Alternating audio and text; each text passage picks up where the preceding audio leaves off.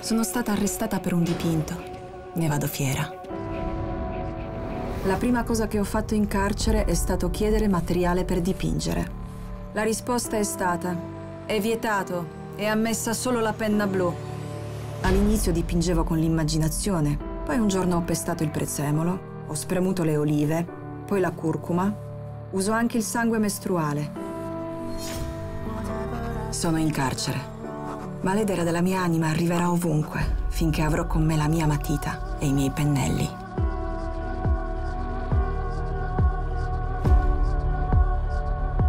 La Turchia oggi è un quadro nero, con un'amministrazione che si nutre di sangue.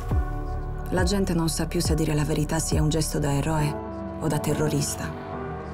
Can you imagine seeing the same nightmare for six months, every night? The jail. the bars. The bars. So what would I be afraid of? Being killed? Being jailed? In this country with so many people, even children are killed. Even the pregnant women are killed in front of their houses, at the door of the house. So